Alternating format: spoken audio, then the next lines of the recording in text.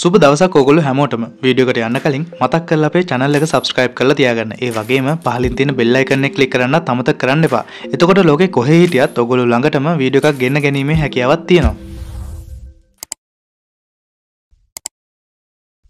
ඊයේ දිනේදී ඇදහැල්ුණු අධික වර්ෂාව නිසා දෙදස් විසිතුන IPL අවසන් මහාතරගේ අද අහමදාබාද් නරේන්ද්‍ර මෝදි ක්‍රීඩාංගනයේදී එම වේලාවටම පැවැත්වීමට සියලු කටයුතු සූදානම්. ප්‍රේක්ෂකෙන් කාලගුණය පිළිබඳව සිටින්නේ තවමත් දෙබඩි අදහසකින්. කෙසේ නමුත් අන්තර්ජාතික කාලගුණ වාර්තාවට අනුව තරගේ පටන්ගන්නා මොහොතේදී හොඳ කාලගුණ තත්ත්වයක් පෙන්නුවත් රාත්‍රී නමය පමණ වන විට සුළු වර්ෂාපතනයක් ඇදැලීමට නියමිතයි. මේ වන විට අහමදාබාද තුෂ්ණත්වය සටහන් වෙන්නේ සෙල්සිය සංසක විසි හතත් තිස් පහත් අතර ප්‍රමාණයකින්.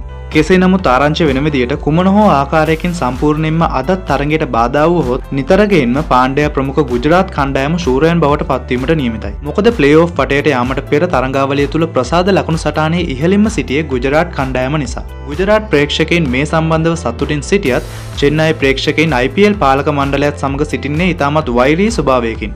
ගුජරාට් සහ චෙන්නයි යන කණ්ඩායම් දෙකම සම ලෙස දක්ෂතා අතර සිටින බවත් තරගයකින් තොරව ජය පැරදුම තීරණය නොකළ යුතු බවයි ඔවුන් සමාජ මාධ්‍ය තුළ පවසා සිටින්නේ. කෙසේ නමුත් කුමන හෝ ආකාරයකින් තරගයකින් තොරව ගුජරාට් කණ්ඩායමට ජයග්‍රහණය පිරිනැමුවොත් අද රාත්‍රිය වන විට විශාල පොලිස්සා හමුදාකාණ්ඩ අහමදාබාත් ක්‍රීඩාංගනයට ගෙනීමට IPL පාලකයන්ට සිදුවීම අනිවාර දෙයක්. MS ධෝනිගේ අවසන් IPL තරගාවලිය වගේම ඔහුගේ දෙසිය පනස්වන IPL තරගේ බැලීමට ඉතාමත් දුර ගෙවාගෙන පැමිණෙන චෙන්නයි ප්‍රේක්ෂකයන්ට මෙවන් අසාධාරණයක් සිදුවහොත් විශාල කලබලයක් ක්‍රීඩාංගනය පුරාම අනිවාර්යෙන්ම සිදුවේවි. ඒ වගේම තමයි ඒ දිනේදී සිදුව ප්‍රශ්නස් සමඟ බොහෝ ප්‍රේක්ෂකයන්ගේ ප්‍රවේශපත්වලට යම් යම් විකෘතිවීම් සිදුවන. මේ දේවල් සැලකිල්ලට අරගෙන IPL පාලක මණ්ඩලය ටිකට් පත් අවමහෝ තත්වයකින් තිබියයුතු ආකාරය ගැන ප්‍රේක්ෂකයන් දැනුවත් කර තිබුණේ මේ ආකාරයකින්. මේ තරංගාවලිය පුරාවටම අපේ මතීශ වගේ තාමත් ප්‍රවේගකාරී ලෙස පිත්තෙන් දක්ෂතා දක්වපු තවමත් අවුරුදු විසිතුනක් වන ඉන්දිය යොවුන් ක්‍රීඩක ශුක්මන් ගිල් වාර්තාවක් අභියස සිටිනවා. ඒ දැනට විටත් කෝලි පමණක් ලබාගෙන සිටින IPL ලෝනම තරංගාවලයක් තුළ ලකුණු නමසයේ සීමාව පහුකළ ක්‍රීඩකයින් අතරට එකතුවීම.